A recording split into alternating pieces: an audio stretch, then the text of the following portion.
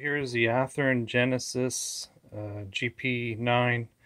Um, I saw a video on YouTube where the guy was having like big issues with this and putting a, a DCC chip on it. Um, as you can see, I have a TCS T1 decoder plugged into the harness. Um, I initially tried one of these Digitrax decoders and you know kind of stuck it on top there into the 8 pin plug um, but I wasn't happy with the way the lights flickered. Uh, for some reason, the lights flickered. So I went back to the TCS on the harness here, and there is no flickering. The lights are steady as it runs in forward and reverse. So um, now I'm going to put the shell on. Uh, apparently, there's this YouTube guy, uh, Conrail's SD40 or whatever his name is.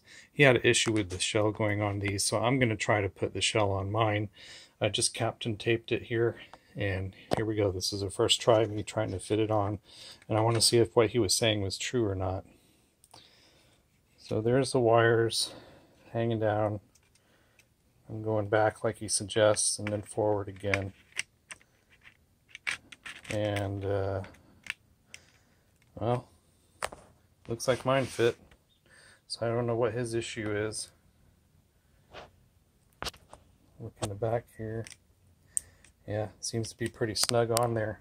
I'm pushing down on it. I don't see any movement whatsoever. So I'm going to put the couplers back on and give it a test run.